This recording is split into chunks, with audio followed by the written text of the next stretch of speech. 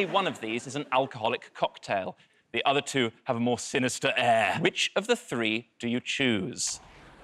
The Green Dream, the Mudslide, and the Crazy Horse. I vote I have written mudslide, and I believe it's made of vodka and chocolate. There's no need for showboating at this early stage in a supposedly hard quiz. Desiree.